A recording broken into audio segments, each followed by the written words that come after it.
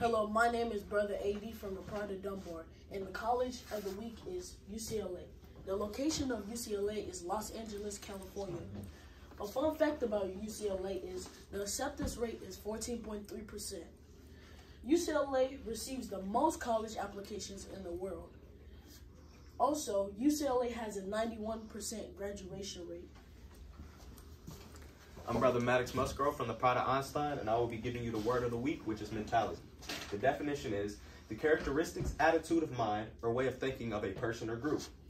The meaningful sentence is that is what the mentality is. It's a constant quest to try to better today than you were yesterday. The quote of the week is by Abraham Lincoln. You cannot escape the responsibility of tomorrow by evading it today. Thank you.